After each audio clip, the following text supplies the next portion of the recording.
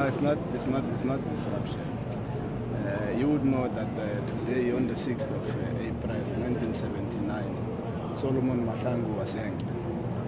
The ANC caucus, together with the royal uh, house of Mahlangu and the family, we went to the gallows where he was killed. It's an emotional day for us. And also, you will know that this Tshwane Council would have also given the family uh, freedom of the city, including the late Solomon.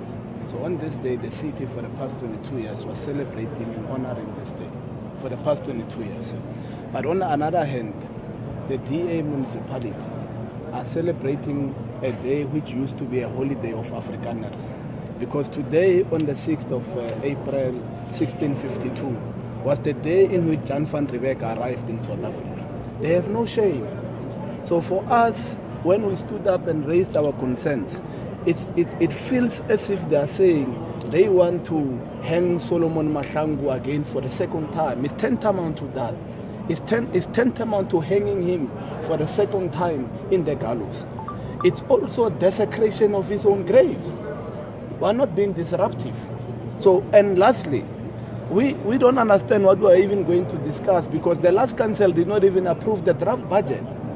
What is the mayor going to discuss? Because the draft budget was, was rejected by the vast majority in council. So when he speaks what will he be speaking? Will we be going through the motions? That's, that's why. So, but on this day, we, we can't allow it. It, it can't. It can't happen.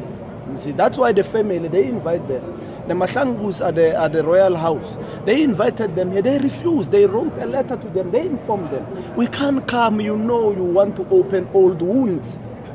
The founder of the DA, Judge Ramon, who's the father of Tony Leon, issued that judgment that a 23-year-old must be hanged here in Pretoria. So that's why uh, we are saying all these sort of things. We raised it. We raised a dissenting voice in council, a dissenting vote in council. We raised it in council sharply. The DA said to us, no, we'll look into this date. Then we were shocked. While we were seated, we are perplexed. We start receiving messages that no, the state of the city is continuing.